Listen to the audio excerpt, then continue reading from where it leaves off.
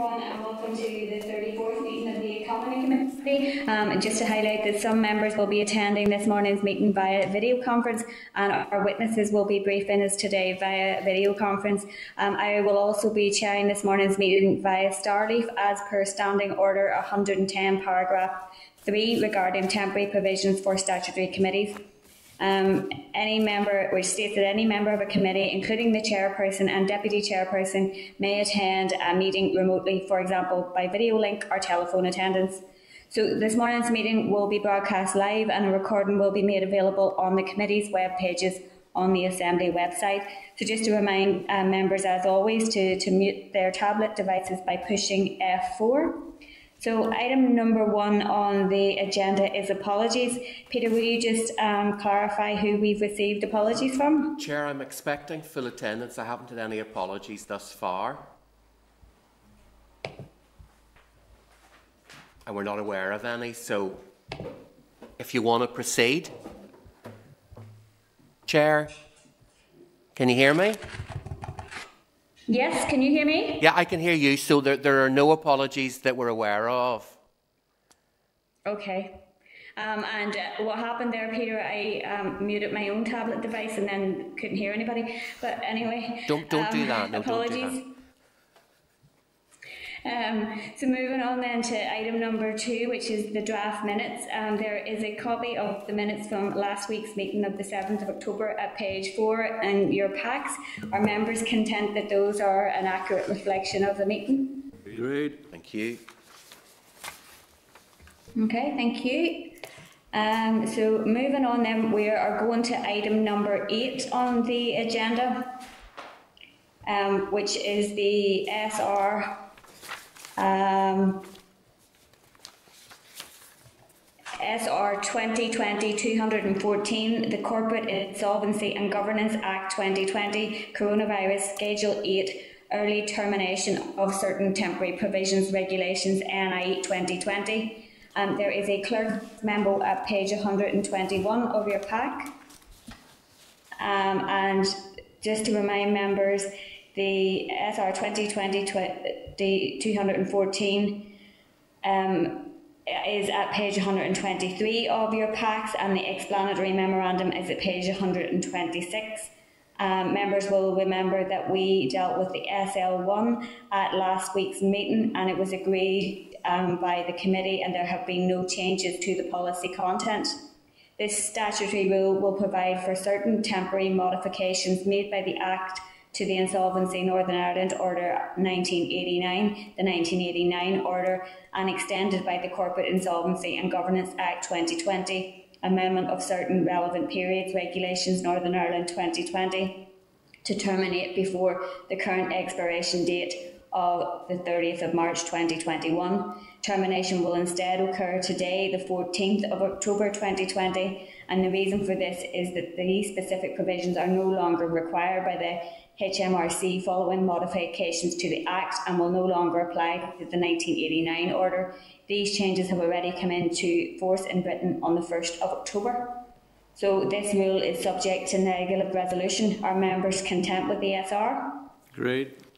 Members are content, Chair. Okay that the Committee for the Economy has agreed SR 2020-214, the Corporate Insolvency and Governance Act 2020, Coronavirus Schedule 8, Early Termination of Certain Temporary Provisions, Regulations NI 2020, and recommends that it is confirmed by the Assembly subject to the Examiner of Statutory Rules report.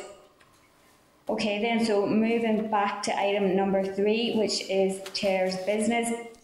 Um, at point 9.8 of um, correspondence, there at page 174 of, a pa- of the pack, there is a press release from the Audit Office regarding the report on generating electricity from renewable energy, which was published yesterday morning.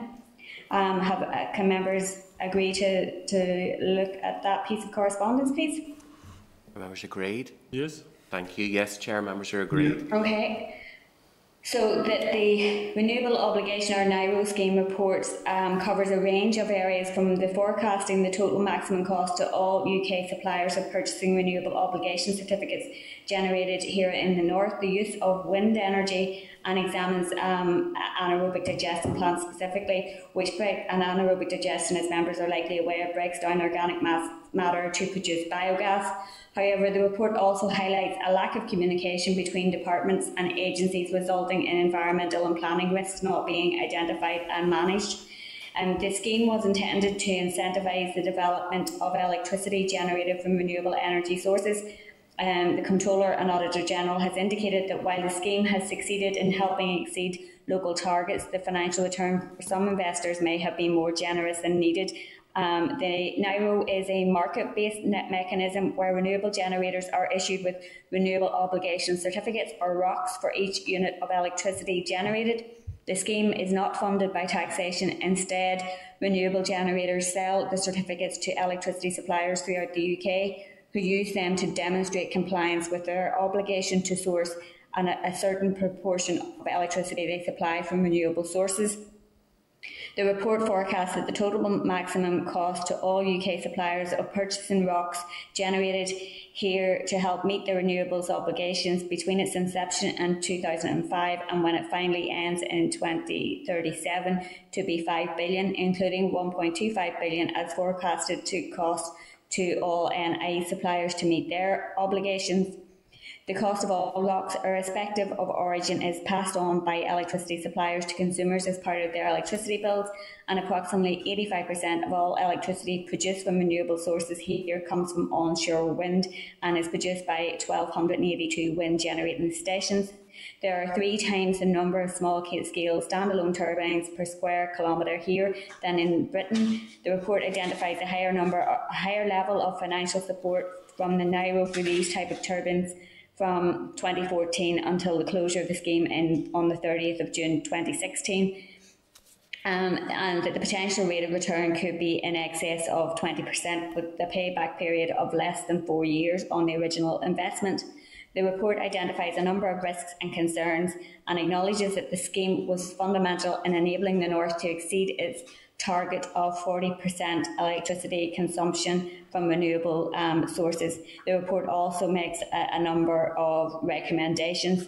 So, if members are agreeable, um, I would like to request that department officials come in to brief the committee um, on, on the report.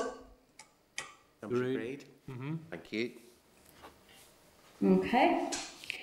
Um, so moving on then, uh, there will be an informal Teams meeting with the anti-fracking group LAMP tomorrow um, regarding the potential petroleum licence applications that um, may or may not be granted. Members will have been aware there was a de debate yesterday on the issue um, in the Assembly. So that invitation has already been issued to members and the meeting will take place um, at 11am um, tomorrow. So just to make members aware of that. Um, the Minister has stated in previous correspondence to the committee that she can confirm that no decisions will be taken on whether or not to grant petroleum licences in respect of those two current applications until an outcome of the review um, that has been commissioned is completed and the future petroleum licensing regime will have to be agreed by the executive. So just um, ask members to note the time and date of that informal video call. Um, and then just a, a thank you. Um, just a final item then of um, chair's business. Um, obviously, we are going to hear the um, announcements around the um, increased restrictions this morning, and there are expected to be um, restrictions around particularly the hospitality sector, um, but other businesses as well. Um, we also are aware from the announcements um, last Friday that there is an additional 200 million in um, funding made available to the executive, um, and some of that obviously will be going towards business support. So I'd like to seek members' agreement to, to write to the minister and ask um, what support schemes she will be proposing um, for these businesses that are going to be impacted, but also importantly, the other businesses in the supply chain of those sectors that are ordered to close that won't be able to avail of the job support scheme or the extended job support scheme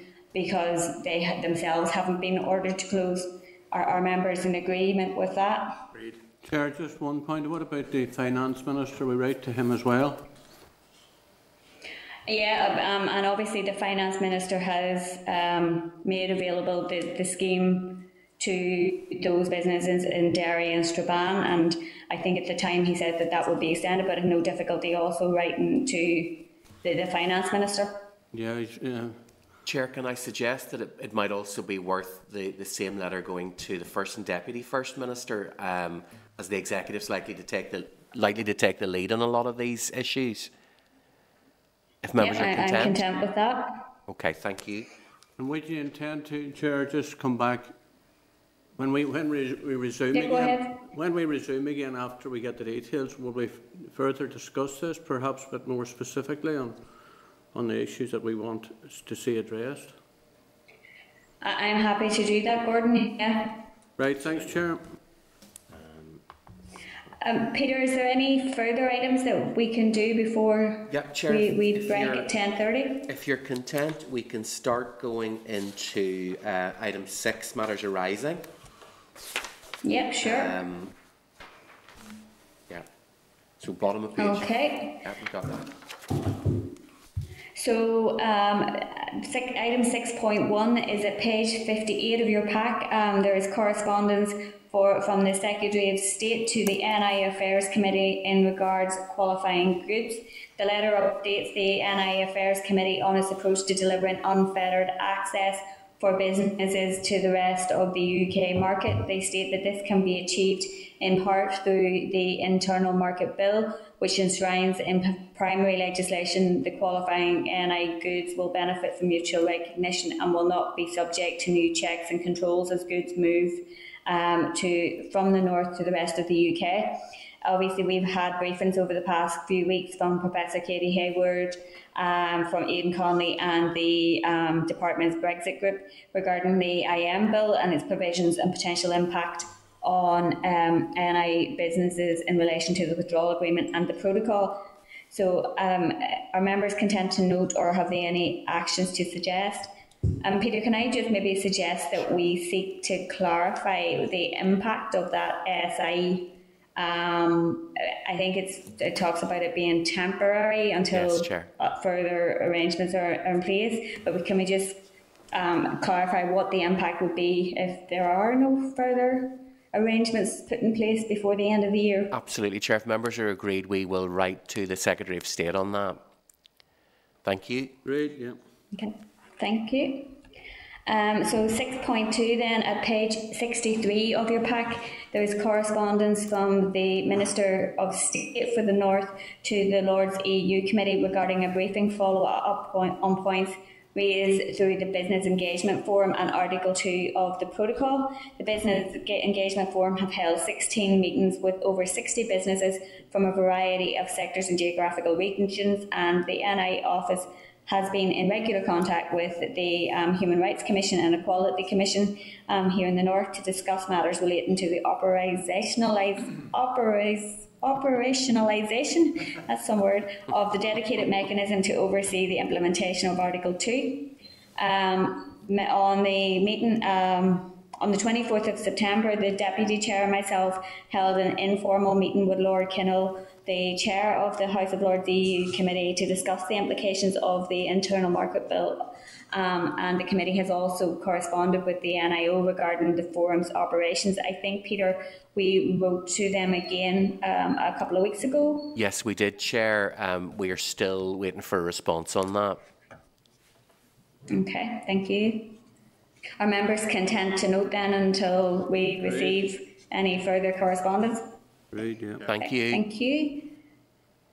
Um, so item 6.3 then, at page 65 of your pack, there's correspondence from the ERA Committee um, on, on the proposed UK emissions trading scheme um, in respect of Greenhouse Gas Emissions Trading Scheme Order 2020. The ERA Committee has asked for any comments or issues that the committee wishes to draw to the attention of the ERA Committee.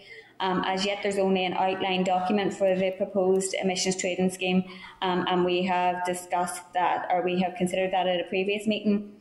Um, so if we would just like to note the, the work done so far by the ERA committee um, and um, we can seek the views of our stakeholders um, on the economy related aspects of the outline of the UK ETS.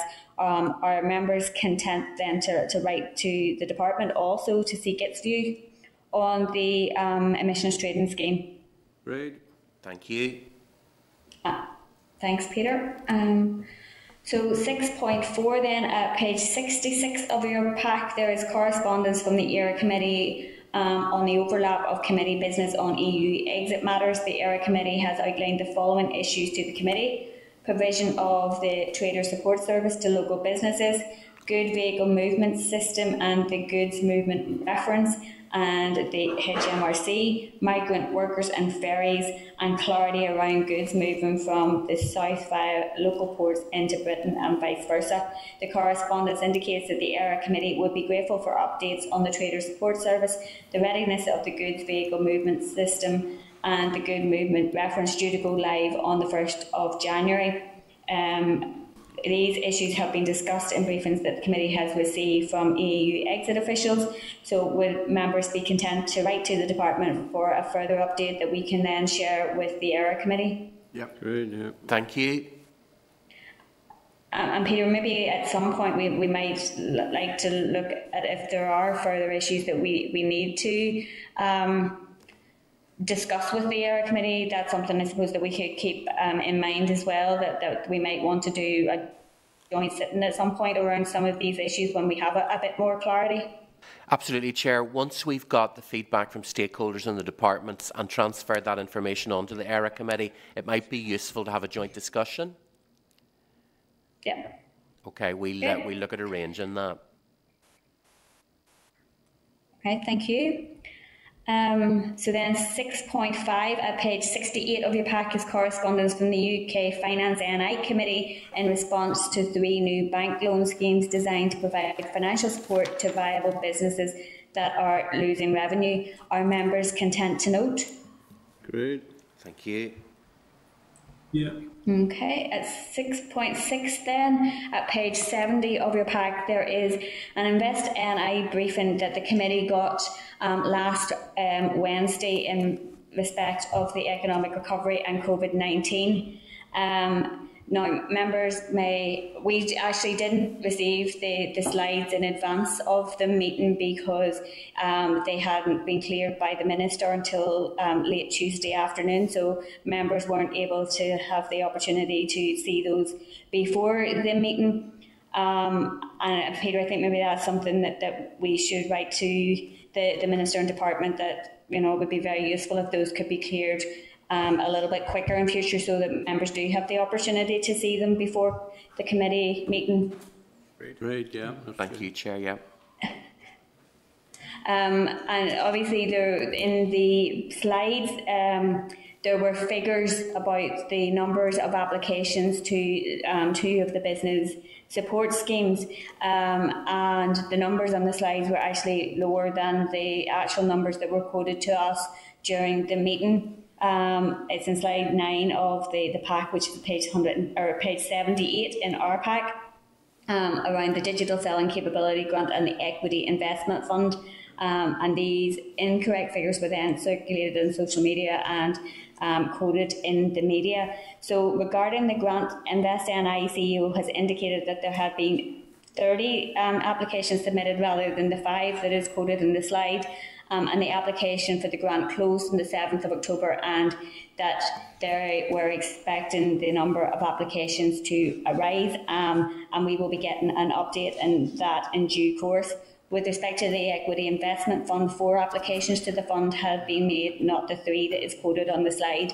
And this fund is actually open for applications until the 31st of December. Um, and again, it's anticipated that the number of applications um, will rise substantially between now and then. So are members content to note that clarification? And thank you. Thank you.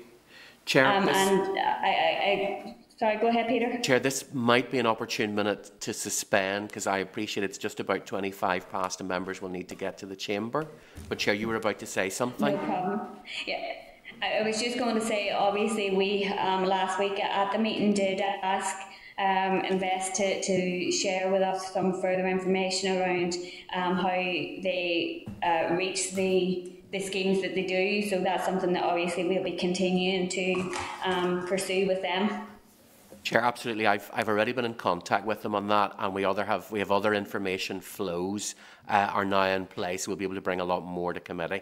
So, if you're content, Chair and members, we suspend until after the statement. Great. Agreed? That's great. Thank, Thank you. you.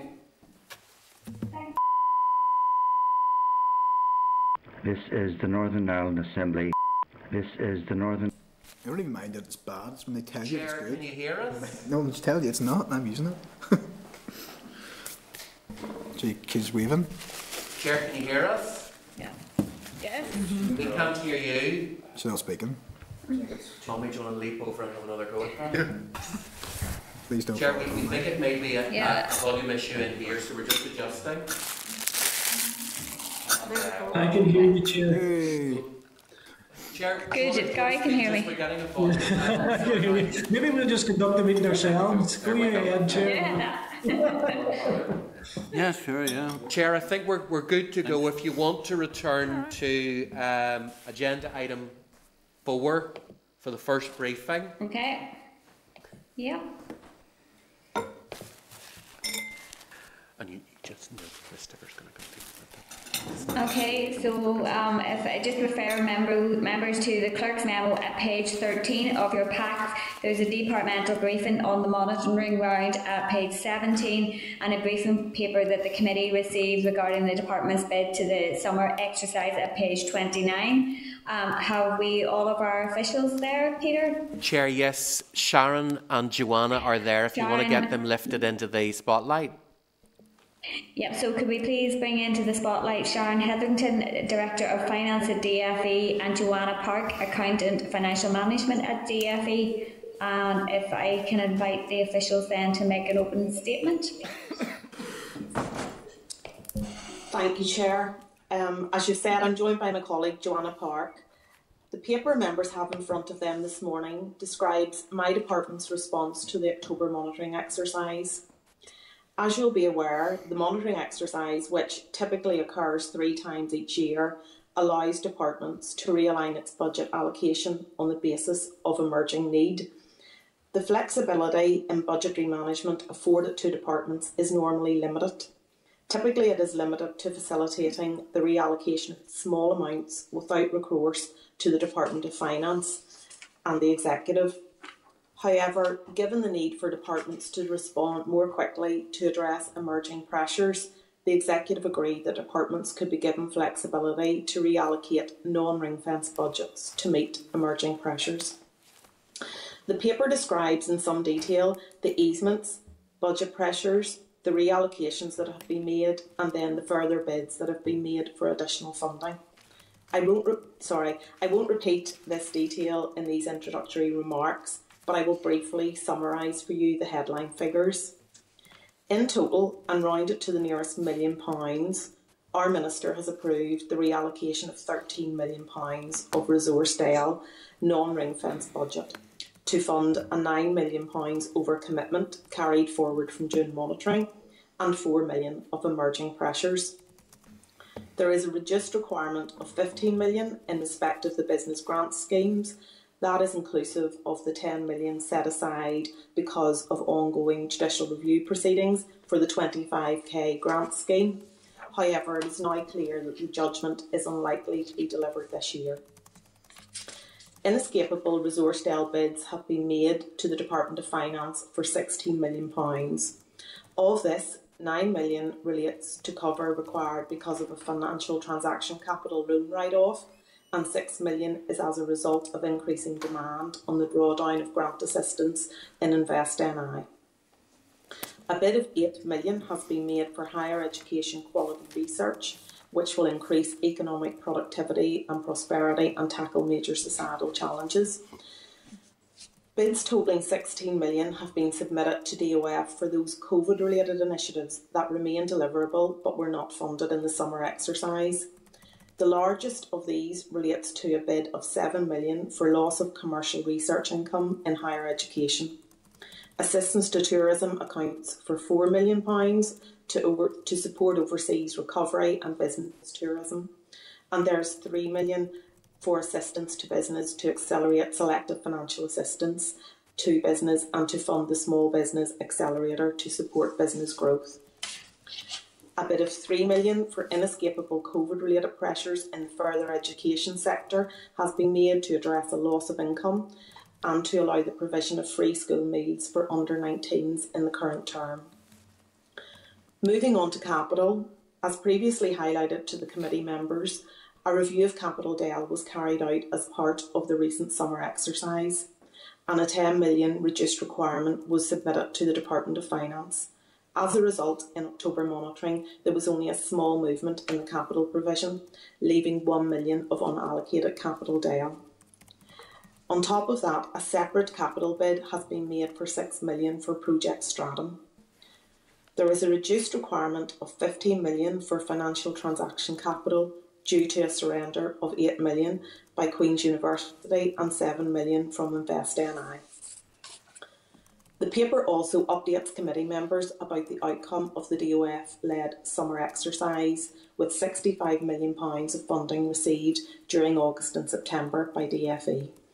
As the committee was previously briefed, in the summer exercise, DFE grouped individual initiatives into themes to create high level bids. Funding has been allocated at theme level, which allows flexibility across initiatives within themes for this financial year. Chair, that is a quick summary of the paper you have in front of you. Joanna and I will be happy to do our best to answer any questions you might have and to provide additional clarification and explanation. And where we cannot give you precise or complete answers, we will be happy to write to the clerk to provide the necessary explanations. Thank you.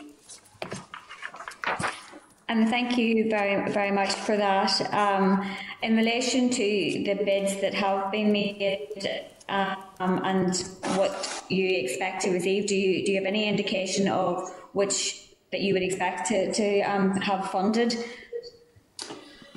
Yes, um, I mean, I think we have obviously been engaging at official level um, with Department of Finance officials, and I suppose nothing is certain until, of course, the executive agrees to it.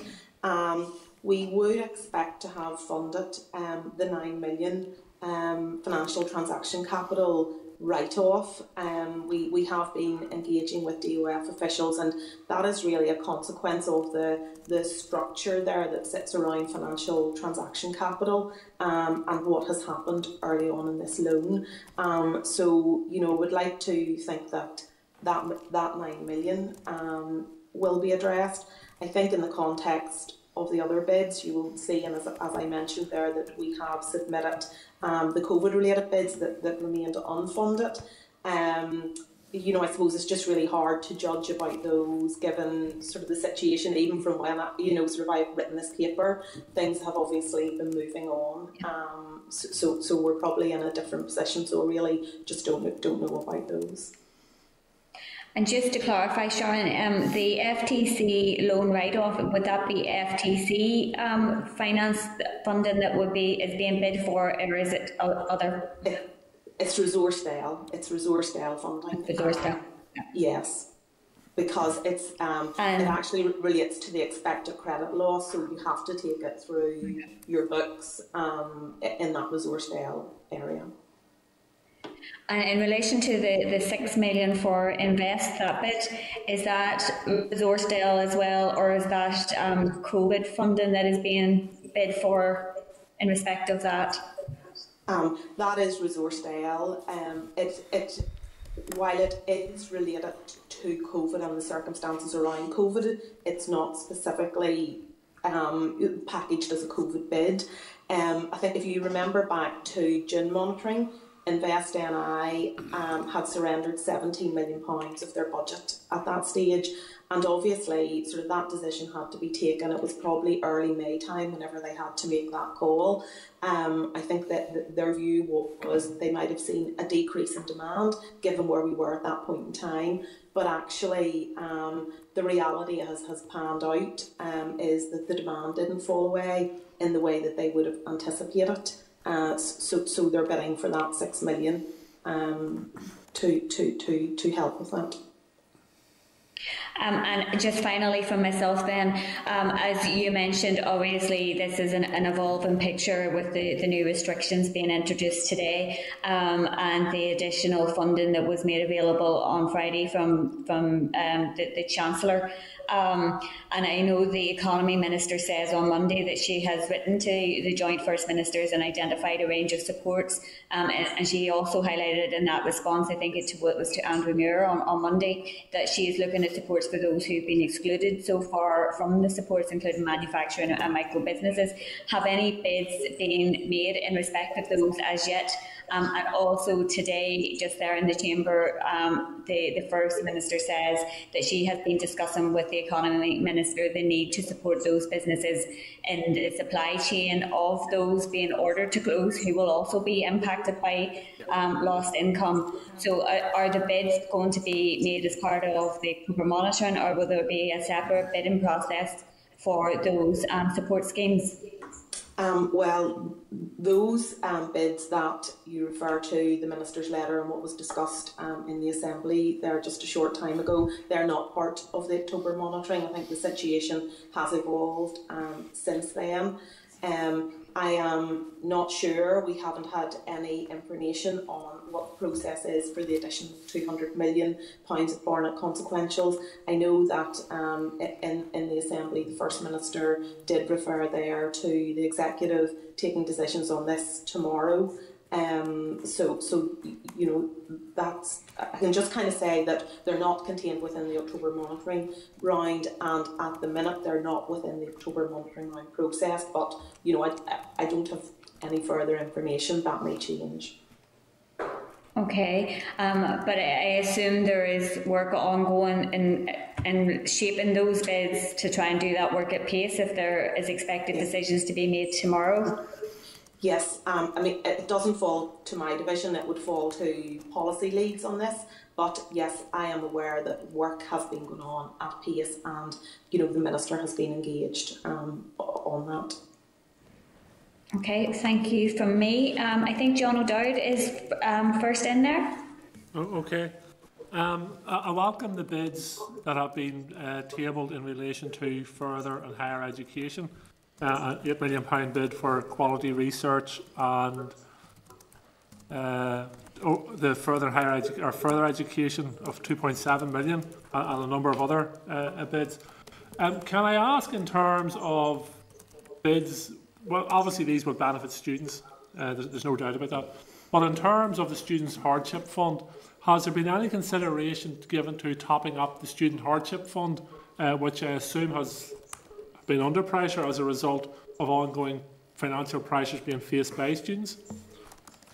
Um, well, I'll let Joanna sort of maybe answer this more fully, but my understanding is as part of this monitoring round, the Student Hardship Fund wasn't identified as an area under pressure. I think that may be because students have just returned, but Joanna might be able to give you a bit more detail on that. In the executive allocations, when the additional grant money was given at the start of the financial year, there was 1.5 million allocated to Student Hardship Fund. There was an additional 1.4 allocated internally as part of June monitoring round, and we haven't been made aware of any um, pressure against that additional funding. Okay, I have a direct question into the Minister just in terms of how much is left in the pot on allocations, etc. So I'll, I'll wait the outcome of that.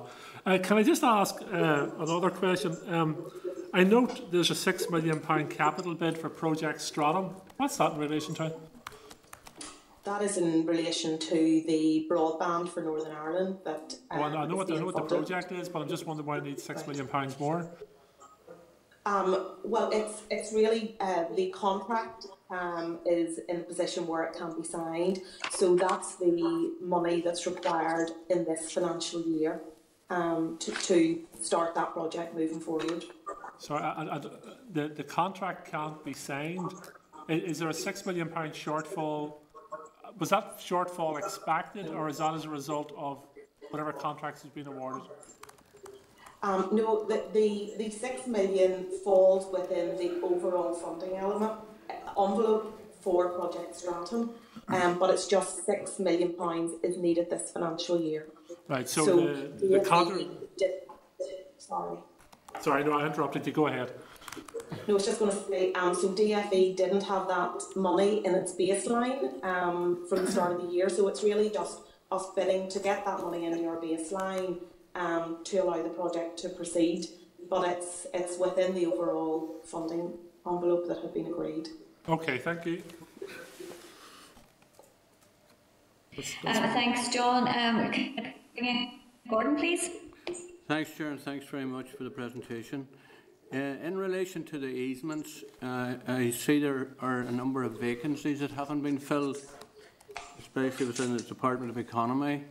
What are the, the reasons for that? Obviously, COVID, which everybody uses as a reason now, but w- why is it uh, with such a delay in filling these vacancies? And there's obviously quite a bit of uh, funding has been earmarked for them.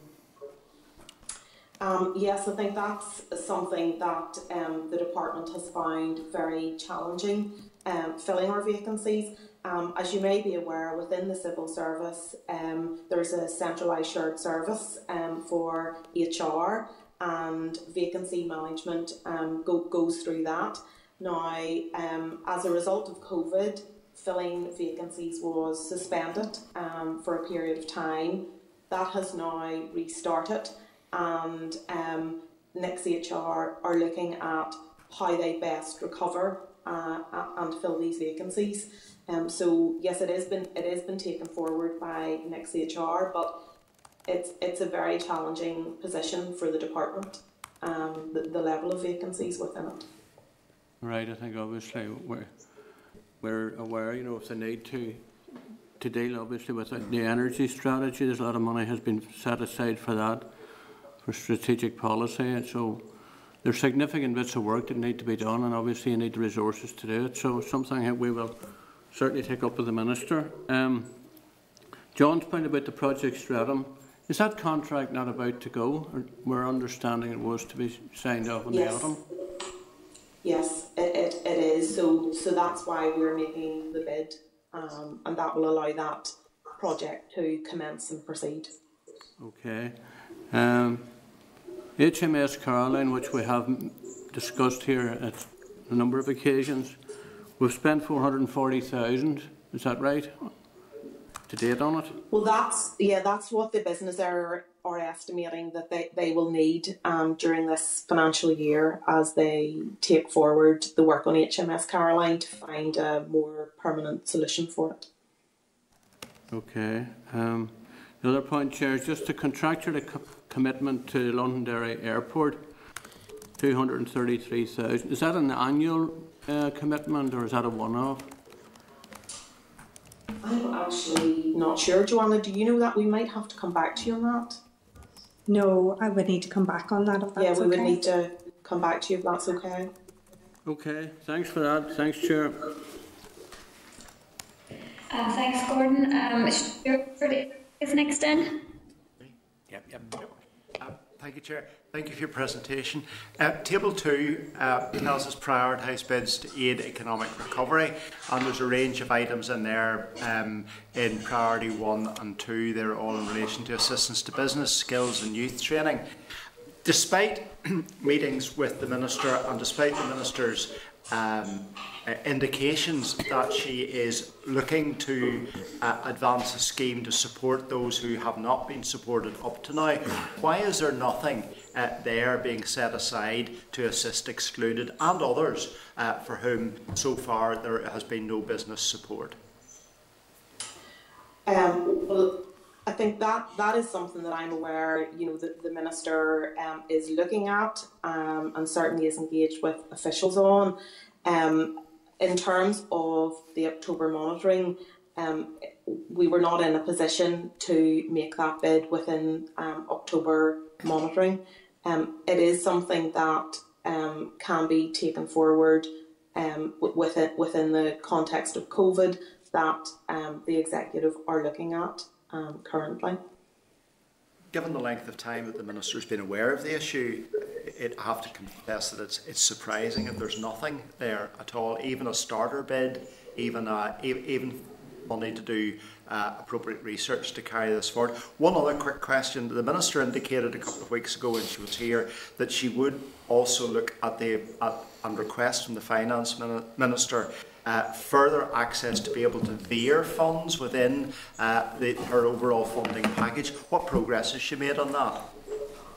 Um, well, I think the last time I was here as well, um, you know, I had said that I had um, mentioned that to DOF officials uh, um, in discussions, and uh, with the minister's agreement, I also raised it um, with within the formal submission for October monitoring.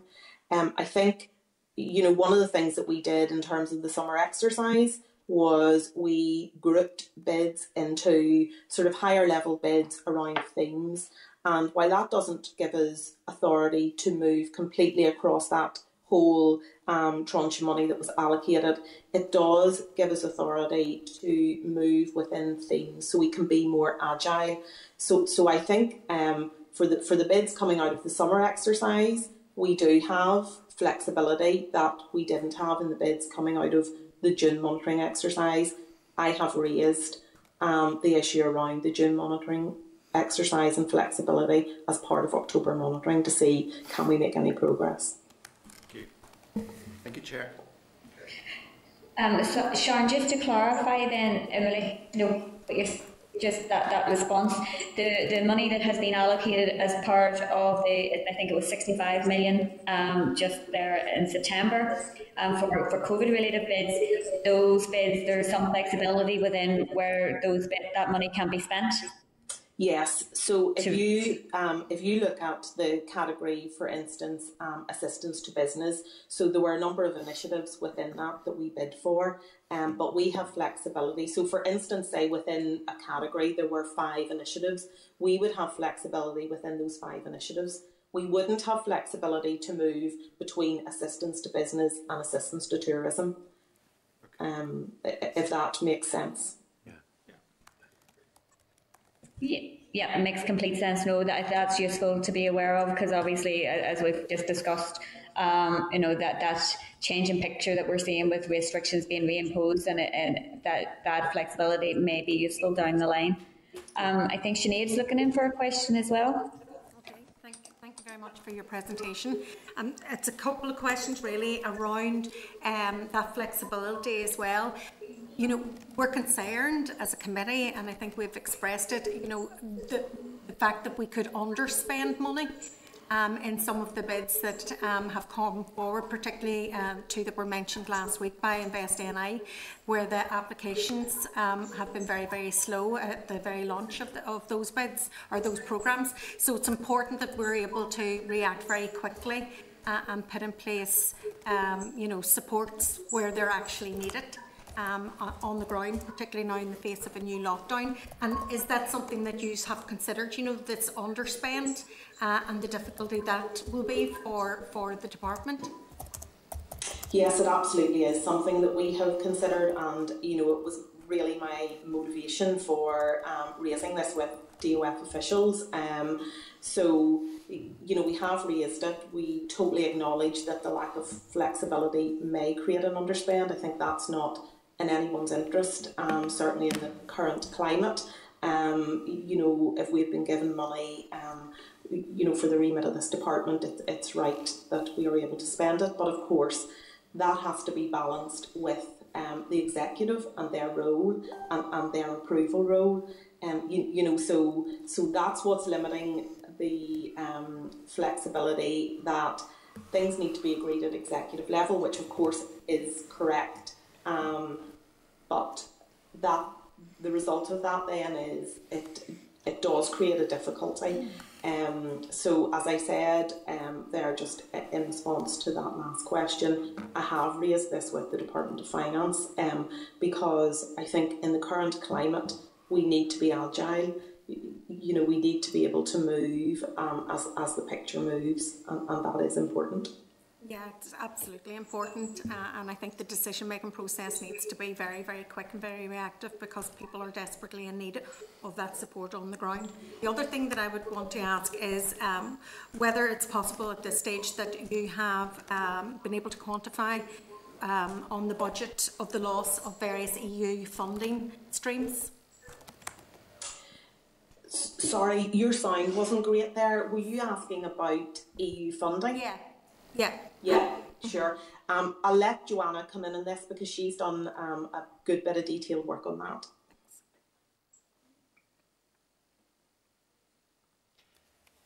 Joanna, I think you're on. Sorry, can I ask for the question again? I sort of I missed part of it with the interference. Sorry, um, have you been able to identify um, just the quantity and impact on the budget of the loss of EU funding streams?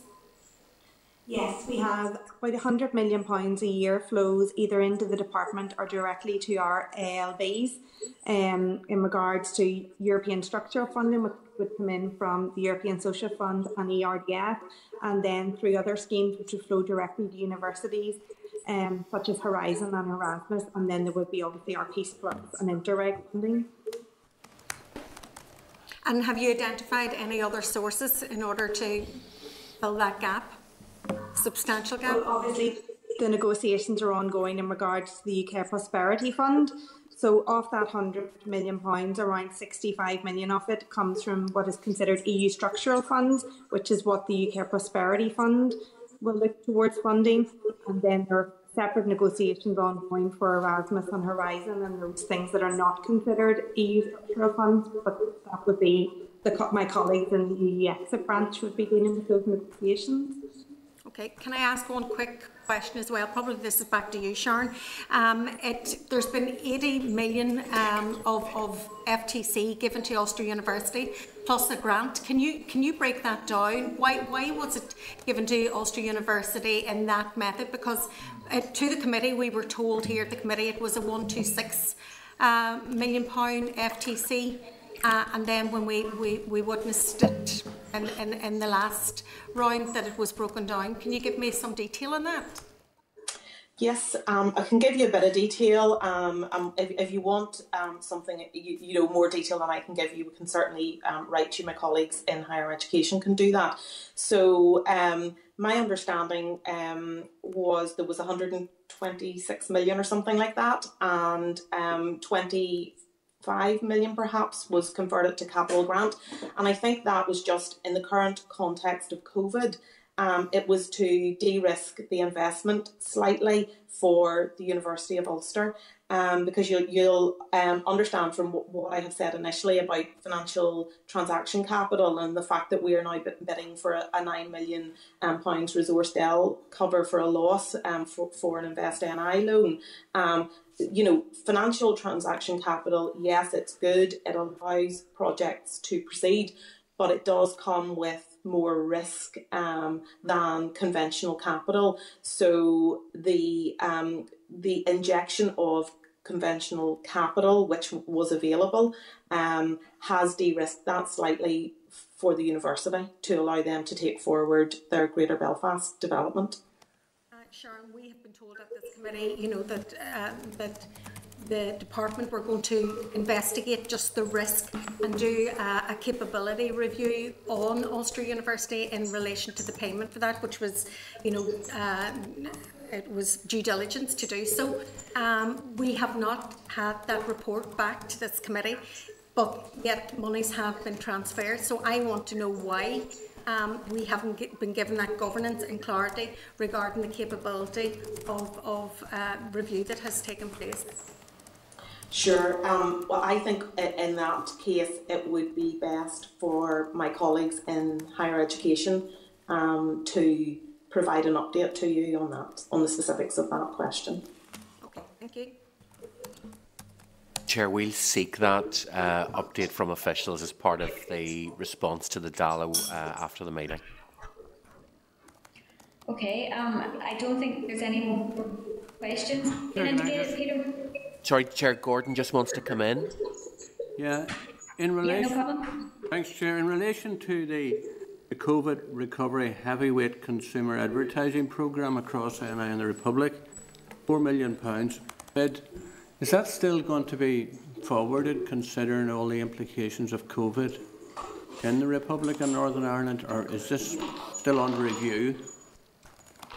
Um, I think at the minute, the bids are as they stand. Um, but I do think um, it would be prudent for us to just confirm with some of these sectors that, in the context of the announcement this morning, Yeah. that still appropriate. Um, now, my understanding about that bid was it was to, you know, marketing to encourage recovery into 2021. So, you know, it may well still be appropriate. Um, but I think I was I was having a conversation this morning with Joanna about um, whenever sort of we had heard the full detail of the announcement um, that that it might be prudent just to check with the policy areas um, that they were still content some of these Okay. bids. Makes sense. Thanks very much, Chair. Thank you. Um, thanks, Gordon. Um, sure, uh, thank you very, very much for your presentation, and sure we can follow up on any of the queries that, that members have, have raised directly with yourselves. Okay, thank you. Thanks. Bye. Okay. Okay, um, so moving on then to item number five, which is the departmental briefing on the apprenticeships, um, sorry, apprenticeships and youth training recovery package. There is a clerk's memo at page three of the table papers and a departmental briefing paper on the apprenticeship recovery package at page seven of the table papers. Um, we were briefed on an outline of the package during some of the committee's meetings in August. Members will also be aware of the department's bids for the summer exercise, which has a focus on the development of our skills base, including reskilling and upskilling. The committee has also discussed this issue at length and, and is it's set to feature in one of our micro inquiries in the next number of weeks. So can we bring into the spotlight, please, um, Jim Wilkinson, who's Director of Apprenticeships, Careers and Vocational Education Division of DFE, and Clement Athenso, who is Deputy Director of Apprenticeships, Careers and Vocational Education Division in DFE. Um, Yep, these are both there. And, and if I just hand over to yourselves um, to make an opening statement, and then we'll open it up to members for questions. Good afternoon, Chair and members, and thank you for the opportunity today to provide you with some further detail on the apprenticeship recovery package. The focus of the package is very much on short-term interventions, um, which are targeted to reduce potentially significant longer-term economic impacts. The interventions aim to reduce unemployment amongst apprenticeships and ensure that employers continue to have access to people with the skills and qualifications needed to maintain productivity and grow their business. As, as you've mentioned, Chair, in August, Minister Dodds announced that apprenticeships were being allocated 17 million in 2021, complementing 4 million allocated to from the department's internal central funds to support the package. I should say this um, additional funding is in, is in addition to the annual spend on apprenticeship training, which is around 26 million per annum across the department. The support will begin on the 1st of November when the UK-wide coronavirus job retention scheme comes to an end. The scheme really is focused on the five months to the 31st of March, but there will be expenditure thereafter in relation to some details of those schemes. Details of the recovery package is now available on NI Business Info, and on how to apply for the schemes has been up, will be uploaded this week and possibly today or tomorrow. Just to provide some context to the committee, at the start of 2020, Northern Ireland's labour market was in one of its best ever positions, record high jobs, one of the highest unemployment rates on record, and lowest unemployment in the UK, in the UK region, with skills shortages being identified as a major barrier. However, the impact on the economy has been dramatic, as recent published figures show, uh, with unemployment rising to 3.7, the claimant count now at 62,000, um, which is 6.7% of the workforce. Number of employees on the government furlough scheme 13% at 102,000. The, committee, the committee will be aware of all these. But turning specifically to the impact on apprenticeships, from our own data gathered really from our training suppliers, which are FE colleges and other providers, and I imagine the position that may have changed further, it would suggest almost 46% of apprenticeships um, remain in employment, but 45,000, which is 57% uh, of, of being furloughed. 57% of these in our lower level apprenticeship programs, which are level two and three, APS NI, and 35% in our higher level apprenticeship programs, which are foundation degree and degree level. Nearly all of our participants are under 24, with significant numbers in that cohort of 16 to 19. This shows to us that in broad terms, younger individuals, particularly at the lower end skill, are being more adversely impacted by COVID-19. And this really set the context in which we looked at our apprenticeship recovery initiatives.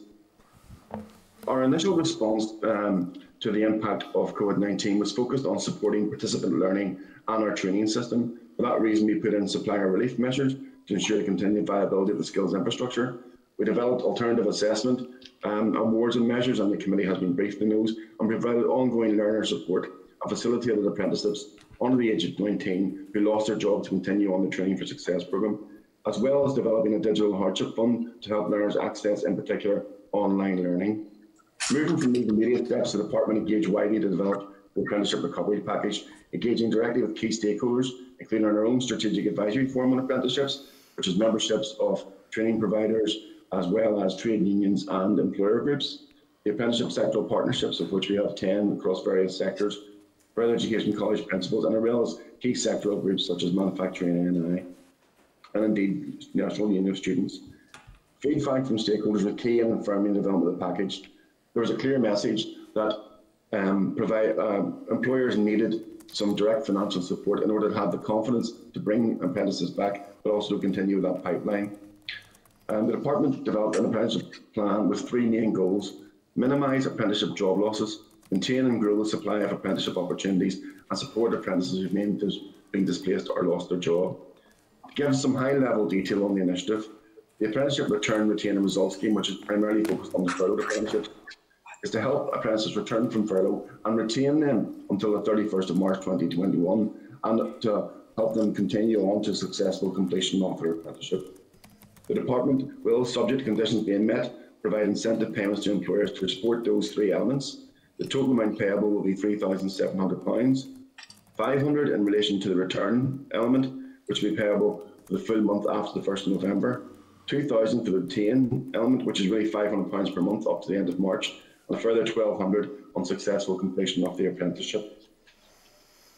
The scheme is open to employers participating on the department for the department's apprenticeship NI and higher level apprenticeship programs who have returned their furloughed apprentices to work since April 2020. They didn't want to penalise any employer who has been bringing back furloughed employees prior to this date and who have continued to have those, those apprentices return from furlough at 1st of December.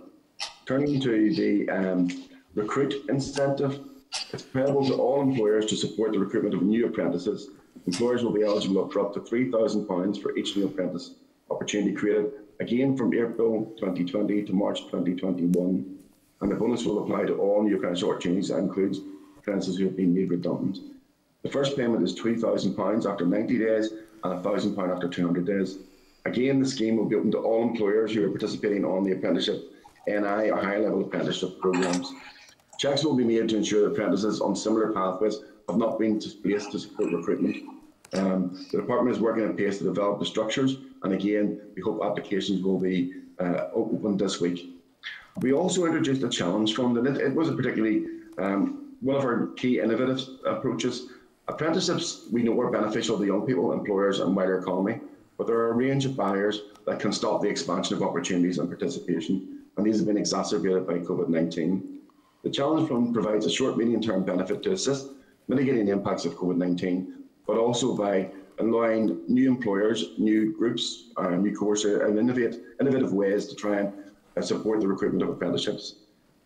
We haven't been prescriptive about it. However, things that we want to test are things like shared apprenticeship models. This is where maybe an SME employer cannot afford to commit to an apprentice for the two to three years it takes to require, but with a group of similar employers might be able to provide employment over that period. And this is how would that be assisted? A brokerage model where um, a number of maybe small employers or sectors might come together and do joint recruitment to enable them again to, to have a bigger impact. But we haven't been prescriptive, but that's what we've been, been looking at in terms of this initiative. Um, the Challenge Fund has a budget of 5 million with up to 50,000 available to um, awards, which could rise to 100,000 where there are partners in terms of those awards. Uh, agility costs will be identified in of offer and successful applicants could include staff costs, costs involved collaboration, etc. The Challenge Fund was launched on Monday the 20th of September and applications will close on Friday 23rd of October and we already have had quite a few applications to that. I also think it's important, and the committee mentioned this at the last time, it's important that engagement takes place to make people aware of these initiatives. So we published the package on NI Business Info. In addition, we've circulated details of the package to our stakeholder groups to allow them to inform their networks. We attended local authority working groups and webinars to promote the package, and guidance for apprenticeships uh, has been processed, providing advice in terms of our, our, our link. There's also been a, a, media campaign, which I'm sure some members may, may have come across. Chair, that was a very brief introduction uh, and a brief um, talk to the update, but I'm more than happy to take questions with Glenn. Um, thanks very much, Jim. Um, and certainly the, the feedback that, that I have heard around the, the recovery package has been positive, both from the, the providers and also the employers. Um, and I, I, think the, the Challenge Fund in particular is, is a, a very positive initiative with a, a lot of potential. Um, and you, you, mentioned, you know, that there is good uptake um, in terms, and maybe you, you don't know this full detail yet, but in terms of the, the proposals coming in, um, are you able to give us any kind of indication as to the, the things that are coming through? You know, you, you talked about the, the shared apprenticeship model and that, that support maybe with the, the admin side of things. Um, is there specific things perhaps that are, are themes that are coming through? I suppose, um, I mean, again, the, the, it doesn't close until the 23rd, so we'll have more detail then. But um, I suppose, and I'll ask him to make a bit more detail the thing that's been of interest to us is that A, there's been a lot of interest in it, so it shows us there was a need for some stimulants. But uh, B, as well, there's been a lot of collaboration identified in it across sectors or working with employer types or employer groups. And we're also getting some nuances in terms of the bids. Now, they haven't all been assessed yet, but we're getting some nuances where not only is it about responding to COVID 19 and bringing in sectors that haven't previously engaged, but also trying to target particular cohorts that haven't engaged. So trying to you know, widen participation and access to maybe groups that are underrepresented in construction or engineering. So it's a whole mixture of, of, of bids that we're seeing. Ben, is there any more detail you'd like to give on that? Yeah, um, as Jim said, I think the, the learning for us is that we've got proposals that go beyond um, what we initially envisioned, in particular, as, as Jim said, about broadening the access routes into apprenticeships, in particular from underrepresented groups. And this is a big benefit in the short term in terms of having more young people with a really good opportunity uh, that aligns with our, our economy needs. But in the longer term, how we mainstream models that work well and build those into the apprenticeship system in the longer term. We've had three applications received so far, um, and we, you know, had have had ten inquiries about um, applications. So we expect to see a, a, decent range of proposals by the time the the, the challenge fund closes. Okay, no, thanks for that. I think that that's really interesting feedback, and, and I do think if um, if there are ways to, to learn from you know what models that are being proposed and, and pick up then on that best practice and, mainstream it as you discussed. Um, but also if we are able to um, widen participation and, you know, for example, be able to attract, you know, more women into engineering and, and construction type apprenticeships and things like that, I think it, it would be um, a very a very positive outcome of it. Um, in relation to where we are um, like currently with restrictions being reimposed, um, is there thought now being given to the potential need for further interventions in relation to retention and recruitment um, beyond what, what was initially planned with this package? Okay. Um, yes, Chair. I mean, I think two, two elements to that. The first is obviously um, we have to digest the, the advice today and see what that means, uh, both in terms of continued learning and any advice we need to give to our supplier base. I mentioned that we had guidance on distance learning. We had supplier relief packages in place, and we have had a digital hardship fund, which has provided a lot of equipment to those who are finding it hardest to access. So we have to look at that in immediate terms to sustain learners. But long, longer term, uh, and as, a, as the sort of the impacts of the pandemic um, stretch out, as Clem has said, we are very mindful that we need to review the success of these initiatives. Now, we won't have these figures until probably December, possibly January. But if these initiatives have been successful, we have indicated um, in discussions around future budget years that there may be a need to keep some of these stimuli moving forward um, to try and help us get over the, the impact of the pandemic. We'll also want to take some learning from the structure of these to see what it might mean in the longer term in terms of how we build in employer incentives into our mainstream funding. We have them there at the moment, but they're primarily universal and targeted at the completion of the award. That's around 750 to 1200 pounds. We might want to look at that to see should we be spending these a bit more to widen access particular sectors. So there's both learning that we can take forward, but very much mindful of the fact that we have some idea that we might want to put some um, markers down for similar budgets depending on the response to the pandemic. And then just um, finally for myself, um, and, and, we've discussed this previously, the, the need to expand um, apprenticeships to, to over 25s as well. Mm. Um, and is that something that has been considered in terms of the next year's budget um, and, um, you know, basically expanding these programs? Very much to the forefront.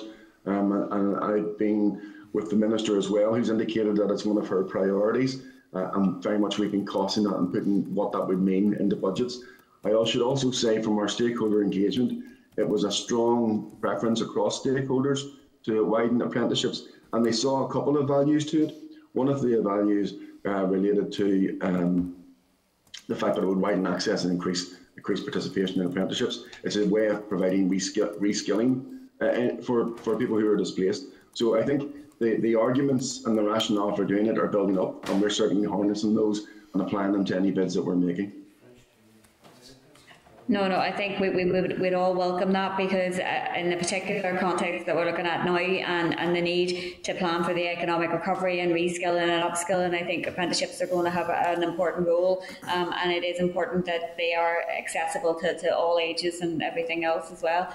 Um, so thanks for that. Um, John Stewart, I think, has indicated first. Yep, thank you, Chair. Thanks, gents, for the presentation so far. And uh, I would echo the Chair's um, views there just on how important it is to um, keep apprenticeships going and open that up to all age groups across as many sectors as possible. Um, there is obviously a lot of money um, and support in here um, going forward to try and um, roll out as many as possible. But I'm interested to get your feeling on how the lockdown has impacted on courses being able to be completed. I'm hearing anecdotally from a lot of people who would normally offer apprenticeships that yes, the classroom-based stuff maybe is taking place online, but they can't get the hands-on work done, and that's then impacting them being able to take on another tranche because they haven't got the first one sorted. So, what is your understanding of that? Given that we're maybe heading into we're heading into another one now that a lot of people will be imp- impacted by. Maybe they're going to be beauty therapists or hairdressers. They're doing their apprenticeships in that. How is that impacting you know, what you're hoping to achieve down the line, uh, given how long these courses take? Well, I mean, you're, you're, you're correct. There, there have been a number of challenges. Um, we did previously brief the committee on, on awards, and thankfully, a lot of vocational qualifications have been awarded this summer and moved forward. But there are certain cohort of qualifications which probably particularly affect some areas of apprenticeship that are fairly highly dependent on the ability to complete uh, an assessed work-based element. Yeah. And that can include hairdressing, it can include um, health and social care in particular. Uh, now, thankfully, a lot of those um, workplace assessments are now have been moving forward from August into September. Um, and for us, um, those are being completed. We've had some figures, and I can update the committee more in more detail. And I'll provide a written update. But we're aware that a lot of a high percentage of those, um, if you like, hands-on assessments have now been completed, uh, and they were they were scheduled to go through from August and September. The, on the on the on the plus side, uh, most of these most of these exams are for people who are wanting their, their apprenticeship completed. So they were out of their apprenticeship into their full-time employment. It wasn't necessarily for progression into higher levels of education and those have been achieved. Um, so we're still able to complete many apprenticeships. Unfortunately, as a department, we're not actually able to issue the apprenticeship certificates because they're hard copies. Um, but we have been advising that uh, participants have been fully completed and providing them with details of that effect, and we're looking into how to provide electronic certificates. Moving forward, I think this is a very fluid situation in terms of awards and completions. Um, as sectors shut or sectors closed down, that automatically limits the amount of on-the-job learning that can take place, some of which is essential for the completion of apprenticeships. But we're looking very flexibly at how our vocational awarding system can adapt to that. And I think very much learning from this year's, where there was lots of learning to take place, it is underpinned by two ideas, which is flexibility, early messaging to those training providers about what can be done, and adjusting the arrangements as best we can to reflect the need the need to ensure participants can, can complete their studies. Um, the bigger challenge for us, I think, um, is a making sure that apprenticeships don't be reduced. But on the other side of the coin is the fact that our youth training also relies significantly on a lot of work placements. Uh, and if those work placements aren't available, that can be a real challenge those young trainees who are full-time trainees, but the work placement is the key element of it. We've been working with our supplier base, which is colleges and providers, to A, amend our operating requirements to reflect the fact we're probably going to be delivering in a different type of methodology or a fluid methodology, and B, trying to get a feel for them where the challenges are in terms of work placements. I mean, what can be done and, and what can we do to simulate a work placement if that isn't possible? Okay, thank you. Thanks, Chair. Thanks, John. Um, and John is next indicated. Uh, thank you for your presentation. And uh, uh, John Stewart's covered a lot of the points I was looking to raise. But it, it's this issue of responsiveness. Uh, and I have to say also that the reports I've got back are very good about the scheme as well. You know, it, it, the, the inclusive nature of it, the fact that it was you engage with the sectors in the development of it uh, has really helped. But in terms of the responsiveness, even in normal times, I think it is key to this. But at this time, it's absolutely crucial. But particularly in terms of, of the likes of Mid Ulster, where engineering, etc., is a key component of the economy. Uh, is there buy-in and uh, the ability of this scheme to react to that the needs of that industry? Well, I'll, I'll bring Clem into the detail because I know he's been leading a lot of discussions, particularly in the Mid Ulster area. But yes, we were involved, particularly with the manufacturing sector there, uh, and we listened a lot. I mean, they, they helped us inform a lot about um, and about the challenges faced uh, and they were particularly unique. They were saying there's challenges now because um, there's there's impact on our ability to deliver. We know our um, order books may go down, and therefore there may be a reluctance to recruit. But we also know that our long-term vision is a growth sector, so we need a skills pipeline. And they were very adamant in terms of, as well as returning apprentices from furlough, do what we can so we don't miss out a year's recruitment, because that could have long-lasting impacts on our ability to meet the skills need we have. But Clem, do you want to say something about the interaction we've had with the Mid Ulster area in particular? Yeah, thanks, Jim. Thanks for the question. Um, we've had a lot of engagement um, with um, the employers in that sector and that place um, as well. And I think, in particular, there's there's two issues they raised. One is that there'll be a short-term drop in demand, which could really damage the long-term competitiveness of the, the sector to compete in the global global um, marketplace. And so one of the focuses of the policies that we have in place in the schemes is to try and maintain that capacity. The second issue they raised, and it probably goes beyond the, the COVID space, um, but has been exacerbated by it, is by trying to ensure that the sector has access to the right skills. And in that space, it's really important that the work of the sector partnerships support um, the engineering sector and employers in that area so that apprenticeships meet the changing needs of the workplace, which are changing ever more rapidly now because of COVID. And it's important that the work of, of that sectoral partnership supports the changing skill needs of that sector. Okay, I, thought your, your dog there, Clement, was going to make it is. It's, your dog behind is beginning to arouse. Maybe we should have um, displaced her, but she may have caused more problems if I'd done that. So. She looks very comfortable yeah. where she is. well, worse, worse than that, I have a cat sitting beside me, so I can hopefully, I hope they don't interact. okay, thank you. Thanks for that, John. Um, Claire? Uh, thank you, Chair. Um, I uh, chaired, uh, I know the chair did as well, uh, a policy forum from Northern Ireland, and it was in specific uh, to apprenticeships, and I took great value from that, particularly the feedback that we got from businesses and their support for um, an apprenticeship model. Um, chatting on a, on a side conversation with one of the participants, um, they were talking about the assured skills programs, um, which I understand, you know, will have a, a certain uh, time of uh, theory, if you like. And then, but I think also within those, there is that experience element within uh, the workplace, and you know, you do create those connections with industry to to try and ensure that that's valuable and could eventually lead to a job. So I'd be keen to hear if the department has any more uh, ideas around Assured Skills, and um, can we expect more of those? Because I know the minister does say that she's quite uh, keen to progress some more of those, and, and what do they look like if if there is ideas? Um, well, I should say from the start, the, the assured skill side um, sits with the with the other Wilkinson in the department, Graham Wilkinson. However, I'm very aware that I mean it is a model that, that's really really useful. It's one that we've been looking at. It's one that's had um, a real focus on addressing in a short, sharp sort of 12 week period of time, upskilling young people into a new area. Um, it's been particularly used at graduates. Our model to date has focused on groups of employers or single employers coming together, indicating that the range of they have a range of vacancies, and that what they commit to is working to help shape the program that's delivered, help with recruitment people of young people onto the program, and then offer um, interviews at the end. Moving forward, there's been, uh, and Graham can give a lot more detail on this. There's two real initiatives under consideration. One is the extension of virtual academies. That seems to be a model that can work well for some sectors. And the second is investing more in academies, but maybe even more speculative academies. So rather than if, if employers aren't able to commit at the moment to significant vacancies and interviews, at least committing to saying this is an area of growth and we can start to involve and, and upskill in anticipation of jobs coming along. So I do know it features in some of the skills bids that are being put forward in terms of responding COVID both this year and, and moving forward into next. Um, yeah, and you know, certainly at that conference, uh, digital skills was talked about quite frequently, and, and I think you know, given where we are, that seems to be, to be where we're moving. And you know, your point around this being a short, intensive program that I think is usually delivered over 10 to 12 weeks.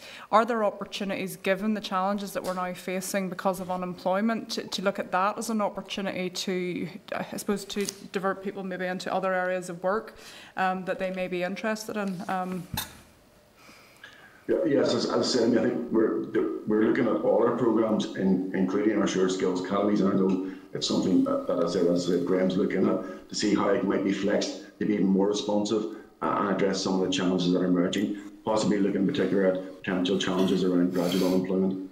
Okay.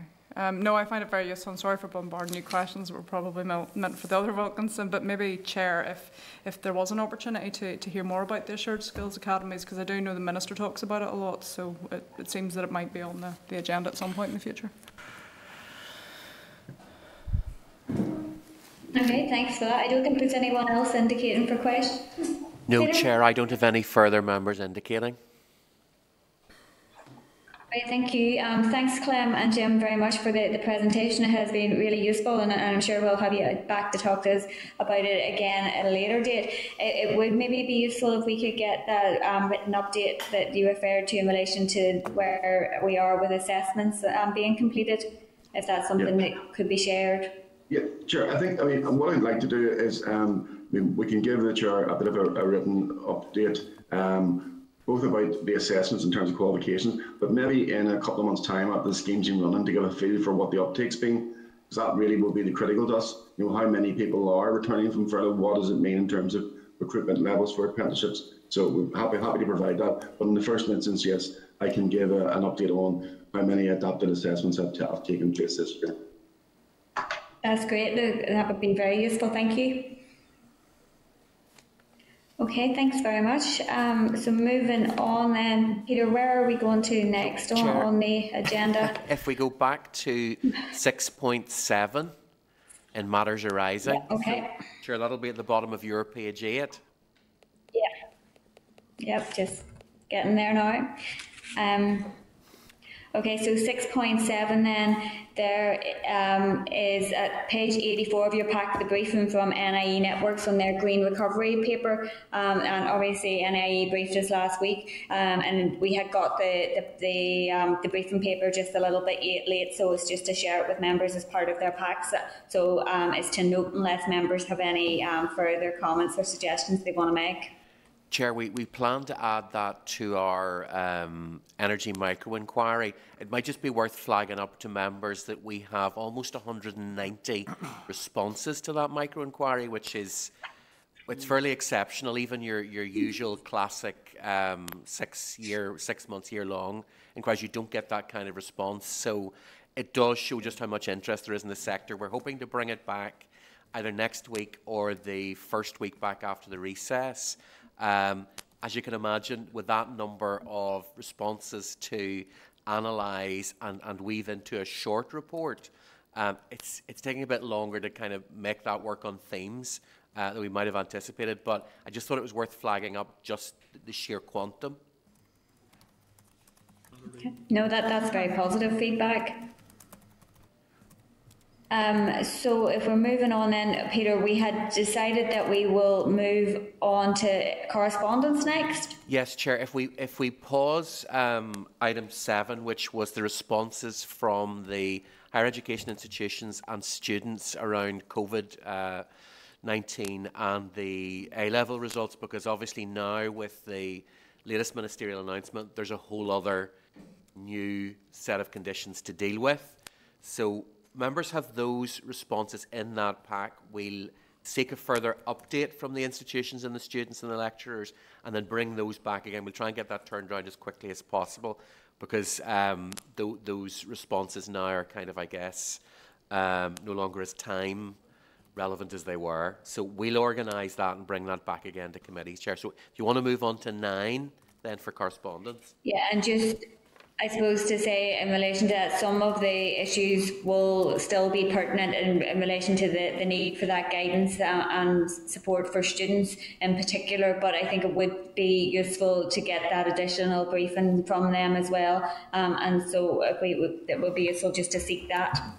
Sure, we'll go ahead and do okay. that. So Right, thank you. So moving on then to item number nine and correspondence at 9.1, there is correspondence at page 130 of your pack from the department regarding a, a, letter from a business owner in relation to the self-employed income support scheme. And we had uh, agreed to forward that to the department for comment. The letter from the business owner highlighted that company directors are excluded from the self-employed income support scheme. The minister has sent met, since met with the concerned business owner in their capacity as a representative from excluded NI at the meeting facilitated by Stuart and Andrew Muir. The department has stated the minister has met with the correspondent and discussed the concerns in person and a reply letter will not be sent. Um, I think this is an issue, obviously, that we continue to highlight, uh, that we have raised with both the Minister and also with the, the British Chancellor directly as well.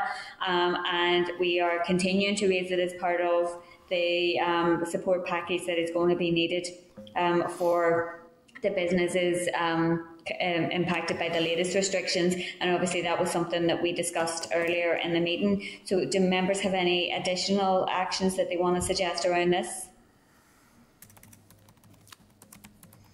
No, Chair. Uh, no indication of, of actions, Chair. Okay. So moving on then to 9.2, um, at page 133 of your pack, there's a clerk's memo from the Committee for Finance regarding the forwarding of a response from the Finance Minister referring to information on mutual recognition of professional qualifications. Uh, page 134, there is correspondence from the Minister to Steve Aiken regarding some information on EU exit issues that are likely to come to the Committee for Finance. So it's for noting, and obviously we have been dealing with issues around mutual recognition of professional qualifications and everything else in relation to EU exit. So we'll be continuing to raise those issues as well. Are members content to note? Thank you. Um, 9.3 then, at page 137, there's a clerk's memo from the Committee for Finance regarding details of all bids submitted by departments within the in-year monitoring process and bids supported by costed um, proposals for COVID-19 related funding outside the in-year monitoring process, including the purpose, value and outcome of each bid. Um, obviously, we've already seen these bids and, and we've had our briefing this morning from uh, departmental officials. Our members content to note? Thank you. 9.4 then, at page 145 of your pack, there's correspondence from Joan McAlpine, MSP, the convener of the Culture, Tourism, Europe and External Affairs Committee, to Bruce Crawford, MSP, the convener of the Finance and Constitution Committee in the Scottish Parliament, regarding her committee's views on the um, internal market bill. Obviously, um, while both the Scottish and Welsh Government have laid LCMs detailing why they will not be pursuing um, consent from the department um, in relation to the IM bill. The Scottish committees have continued to debate it in their meetings and chamber, so it's for noting. And obviously, we've had um, extensive discussion around the IM bill um, and have already written to the minister in relation to the LCM. So, the, unless there's any other actions to suggest. Okay. Thank you, Chair. Nothing else suggested. Early start there. Late last night.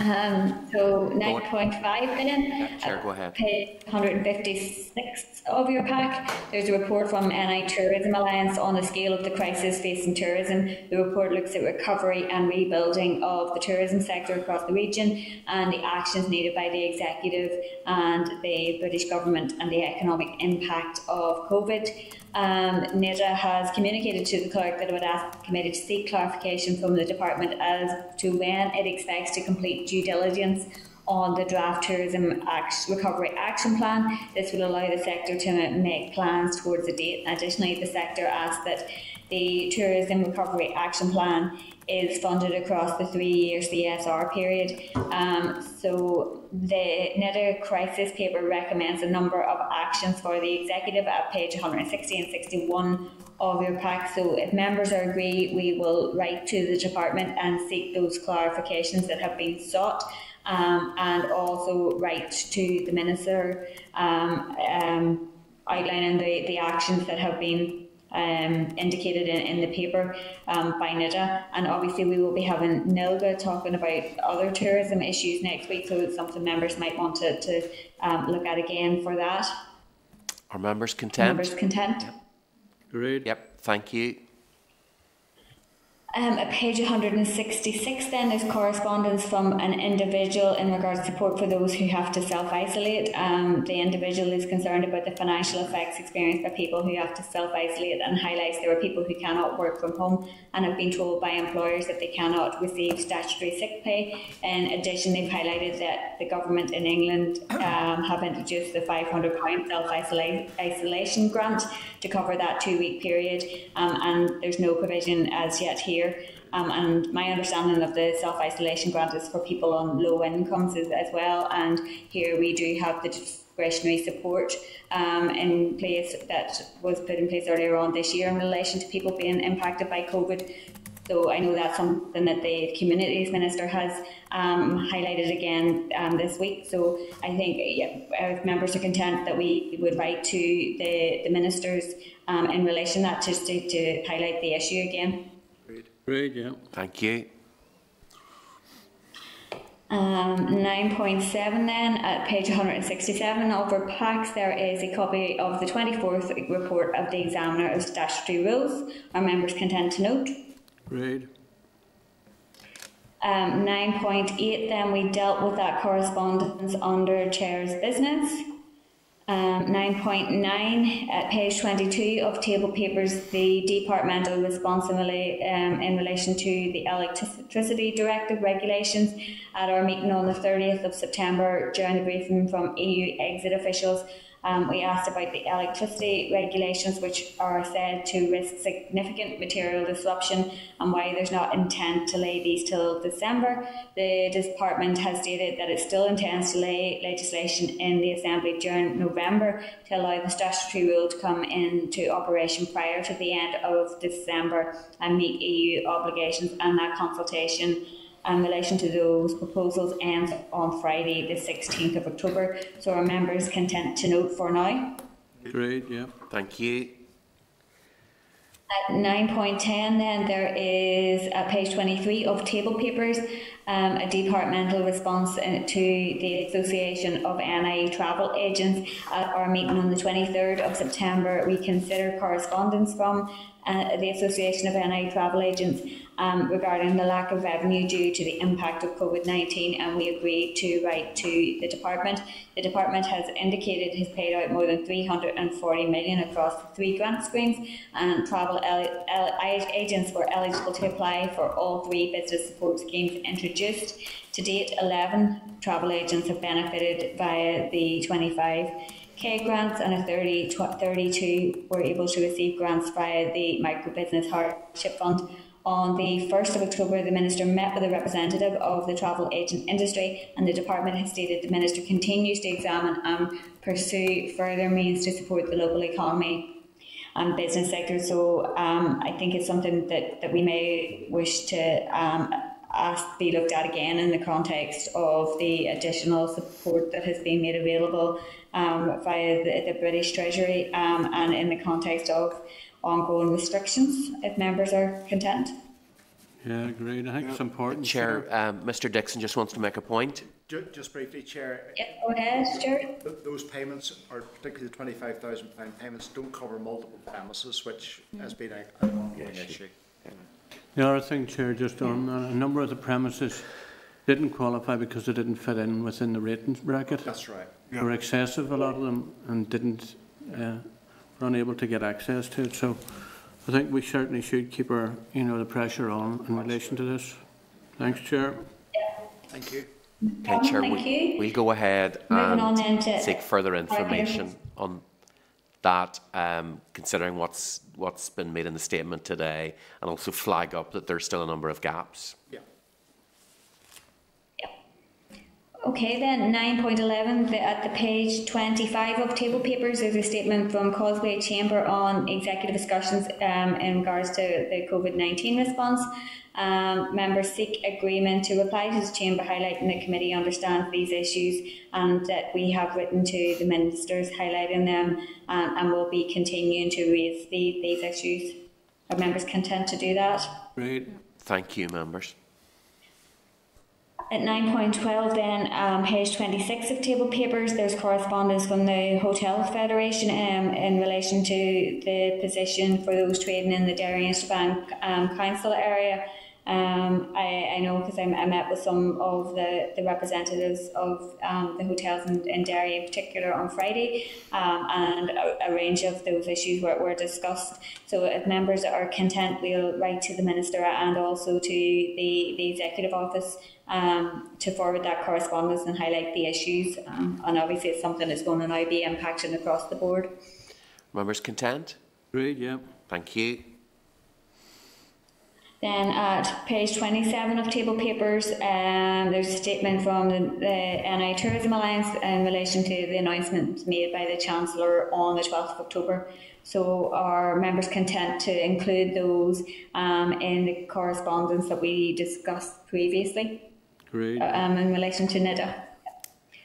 Thank okay. Yep. so then that's correspondence done, um, and um, just if we move on then to any other business, I, I think when at the first um, session earlier on, we, we agreed to come back and, and um, discuss the um, announcements, uh, um, and I, I suppose we picked up on some of the issues with the officials when they were in, um, but we had agreed to, to write to the um, economy minister, the finance minister, and the the joint first ministers in relation to um, the need for that support package, and obviously. Um, the, the First Minister in, the, in response to questions saying that she is discussing the, the supports that need to be made available with the Economy Minister and there's expectation that those will be discussed at the Executive tomorrow. Um, and obviously we have um, previously highlighted a range of groups that have been excluded from support previously that we would really like to see um, addressed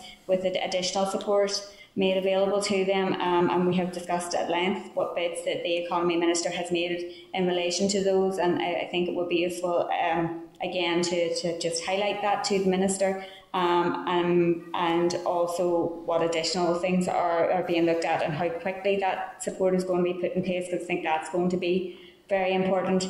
Um, I know Gordon you wanted to come back to it. Yes, I think Chair um, I would uh, just reinforce what you've been said. I think it just noted what we need is realistic funding support for these businesses that have been forced to close. I know the, the Londonderry case is ongoing, and the general consensus we seem to gather was that the funding was in, inadequate, really, to, to meet what their expectations. And uh, it's now a four-week period, and we're probably all of us have been contacted through our social media contacts, worrying people are concerned about, you know, what they're going to do, loss of business, um, and I think we would need clear, clear guidance, I suppose, on even the, the closing hours for, mm -hmm. for these businesses. And I understand it was mentioned in the, the chamber, as some of our, my colleagues have, have reminded me, but uh, that's that's something that uh, needs clarification as well. But we need to rally around, as we've done before, and support these people that have been forced to close. And I think it's important we get that message out to our colleagues and to the executive before end of play today. Mm -hmm. Chair John, sorry, John Stewart wants to comment as well. Thanks, Chair. Ahead, John. Thanks, Chair. I agree um, wholeheartedly with what's been said. I think this committee needs to speak with one voice in terms of getting out and supporting businesses and, and trying to provide as much support as quickly as physically possible.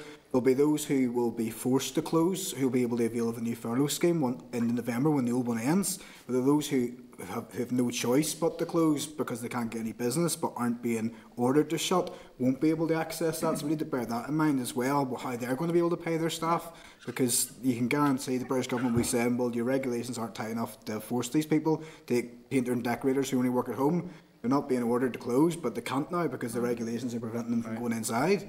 So there are so many, uh, so many facets to this, but the key is that 200 million pound support package has to be ready to go instantly. Most of these businesses have a two-week um, window of survival in terms of cash flow for the small companies. Yeah. They can't afford to be waiting six, eight, ten weeks, as we've previously seen. So we need to get this out imminently. And like you, like all of us, I mean, it's just ping, ping, ping. Every business you could possibly imagine this morning is on wanting to know how they're going to survive, and we need to get that out as quickly as possible through the department.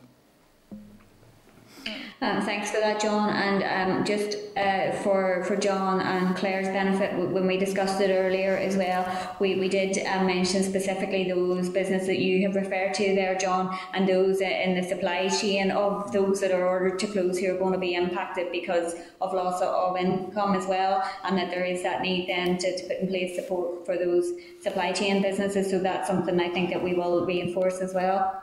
Is anyone else looking to come in there, Peter? Chair Claire. Um, thank you, uh, Chair. Yeah, it's, it's, just to reiterate what others have said. Um, I suppose one of the ones, um, and maybe the detail will come later today, hopefully no later than tomorrow, in relation to closing of a whole sector in hospitality and what that means. Um, you know, some people, even the Hotels Federation, are coming back and saying, is that hotels, is that overnight? Can we still open to take bookings, anticipating a reopening period and, and all of that? So, you know, I, I think for the sake of the sectors that we would represent on the committee, we, we need to have a keen focus to try and get that detail and interpret it for the people that we need to.